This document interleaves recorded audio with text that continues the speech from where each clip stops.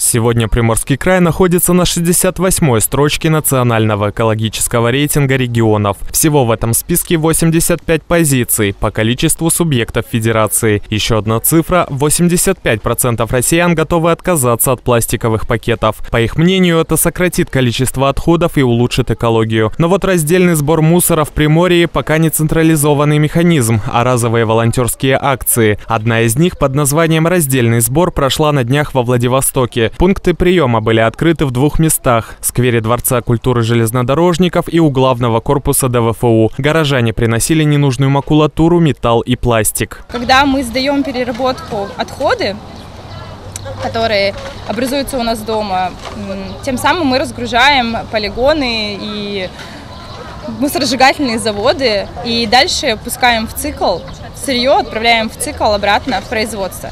То есть вместо того, чтобы вновь и вновь производить, э, добывать нефть для того, чтобы произвести пластик, мы, по сути, возвращаем сырье обратно. Однако, прежде чем положить вторсырье в контейнер, участники акции его самостоятельно сортировали и готовили к сдаче. Готовый к сбыту мусор приносили к точке сбора, где волонтеры раскладывали вторсырье по разным контейнерам. Активисты сортировали в коробке старые газеты, ненужные книги, офисную бумагу, упаковки от яиц, пластик, бутылки, ведра, баночки от косметики, а также металлические изделия, алюминиевые и жестяные банки и другие малогабаритные предметы. Макулатура оказалась самым массовым сырьем. Хорошо, что есть вообще вот эта акция, потому что а, контейнеров почти для пластика нет. Единственное, вот что некоторые частные а, начинания есть э, у кофемашины, например, они поставили пластиковые контейнеры в двух своих точках. В акции приняли участие более 700 горожан. За три часа волонтеры собрали больше тонны мусора. Пример Владивостока заинтересовал и другие города Приморья. Неравнодушные жители готовы провести подобную экологическую акцию и в своих муниципалитетах. Мы приехали на раздельный сбор мусора. Вот всей семьей собирали пластик полгода. И первый раз выбрались сюда наконец-то сдать его. Вот, и узнать, как можно в Артеме провести такую же акцию по сбору, по раздельному сбору мусора.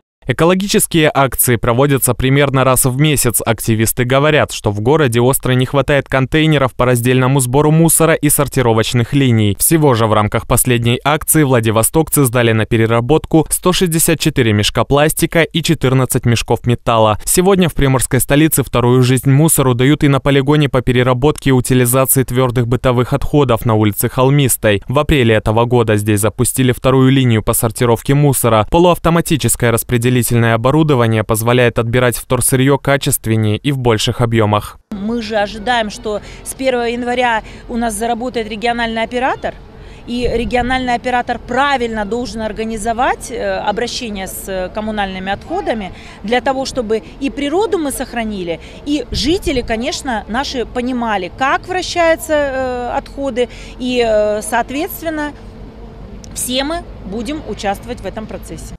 Сортировка мусора на первой и второй линиях проходит в полуавтоматическом режиме. Конвейерным прессом поднимают отходы на второй этаж в отсек сортировки. Пока он двигается по ленте, сотрудники в спецодежде вручную сортируют пластиковые пакеты, бутылки, алюминиевые банки, стекло, бумагу и строительный мусор. Все, что считается полезным, спрессовывают и отправляют в цех вторсырья, а после реализуют для переработки. Разные регионы страны подходят к проблеме мусора по-разному. От обучения сортировки отходов в детских садах до работы техники. Будет ли в Приморье создан работающий механизм, который позволит краю города занимать первые строчки экологических рейтингов, или проблема так и останется на совести волонтеров, покажет время. Дмитрий Беломестнов, Евгений Апарин. Новости на восьмом.